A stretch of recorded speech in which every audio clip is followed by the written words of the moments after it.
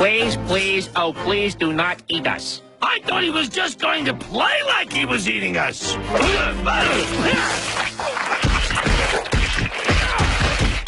mean, forget what I just said and please do not eat us. Sorry, guys. Mmm. Delicious. Not quite the savage display I was expecting.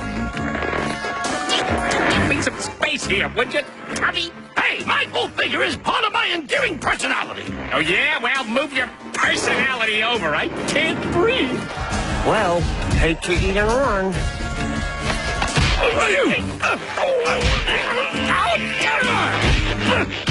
Suspicion.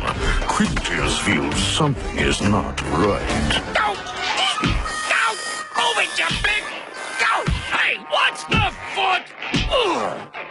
Is there a problem?